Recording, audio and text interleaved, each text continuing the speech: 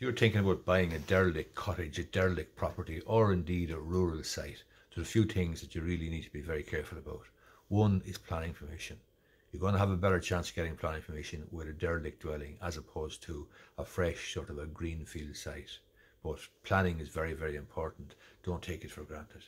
Second thing you need to be concerned about is the uh, services, sewerage, water, and the road um, right of way or access to the property. So those three things are absolutely critical because without sewerage, without water and without a legal access to the property, you're going to have a difficult time financing it or selling it on.